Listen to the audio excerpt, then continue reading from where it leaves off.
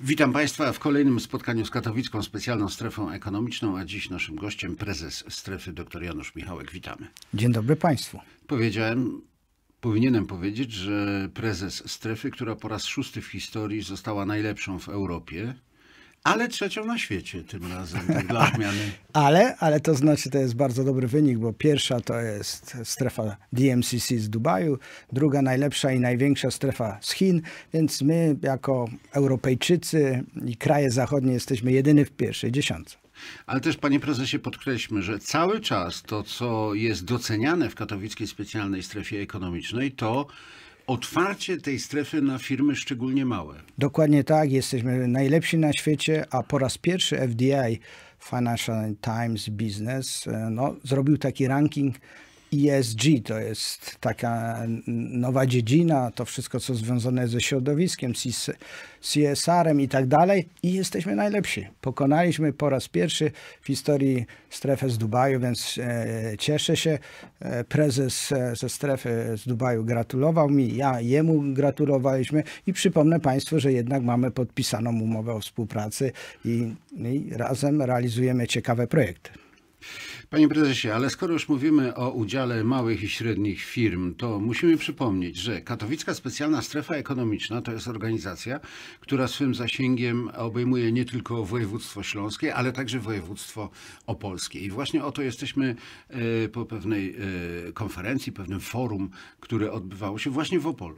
Dokładnie tak. To jest jedna z, z ważnych e, części naszej strefy. Opolszczyzna, ta część wschodnia od Opola ponieważ e, jak Państwo jedziecie w kierunku e, Wrocławia, można zobaczyć e, w gminie Ujazd, Krapkowice, Strzelce Opolskie, Głuchołazy, Olesno. To są gminy, gdzie naprawdę bardzo dużo naszych inwestorów inwestuje.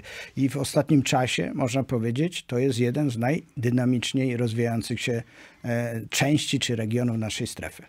Oczywiście wiele obszarów rozwija się tak, że, że się tak wyrażę, u nas, czyli Oczywiście. na przykład Dąbrowa Górnicza, Jawornicki, Dokładnie, obszar tak. gospodarczy i tak dalej. Ale zostańmy na chwilę jeszcze w Opolszczyźnie. To właśnie tam zaproponowaliście Państwo inwestorom nie tylko to, że mogą kupić teren, ale może mogą także kupić teren, który jest na przykład absolutnie bezpieczny pod względem energetycznym, czyli posiada również własne rozwiązania energetyczne dające stabilność zasilania w prąd. Dokładnie tak, z gminą Ujazd e, pracujemy nad wspólnym projektem po pierwsze zbudowania w obiegu zamkniętym oczyszczalni ścieków e, wykorzystującym wodę odpadową, deszczówkę, wodę do produkcji, ale również i ścieki w, w takim układzie zamkniętym. Budujemy pod naszych inwestorów.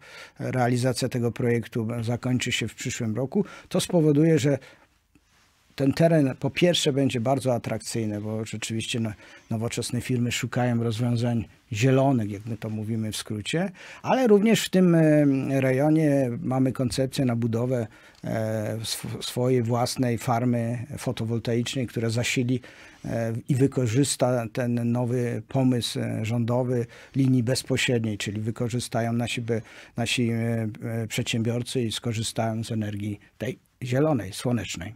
Ale jeśli już mówimy o tych e, działaniach, które są realizowane w, tej, w tym opolskim fragmencie strefy, to oczywiście cały czas mówimy jednak o przemyśle motoryzacyjnym i o producentach części do samochodów, czy e, pojawiają się tam jakieś nowe? Panie redaktorze, no, od kilku lat e, ten automotive znacząco jego udział znacząco spada. Z jednej strony się cieszymy, z jednej strony dalej jednak 60% to jest automotive. Na Opolszczyźnie e, są różni producenci.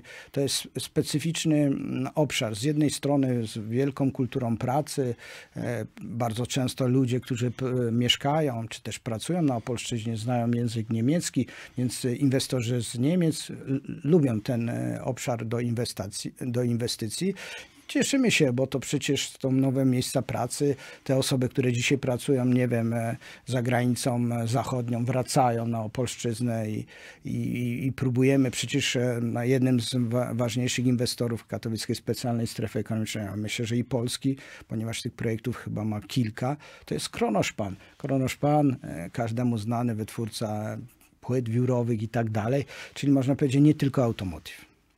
Panie prezesie, ale oczywiście jeszcze zakończmy tym stwierdzeniem, że w ramach promocji tych e, wszystkich rozwiązań, które w ramach e, programu e, Polska Strefą Inwestycji w ramach tego programu odbywają się również różnego rodzaju spotkania, nazywacie to Państwo boosterami, także na Opolszczyźnie. Dokładnie tak tak jak powiedziałem na samym początku, bardzo dla nas ważny obszar.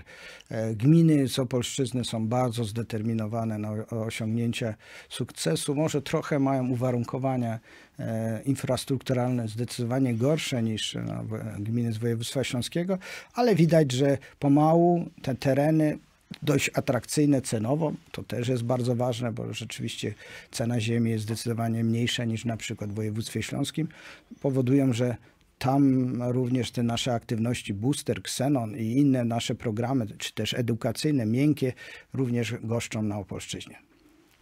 A dziś Państwa i moim gościem był prezes Katowickiej Specjalnej Strefy Ekonomicznej dr Janusz Michałek. Dziękuję bardzo. Do widzenia Państwu.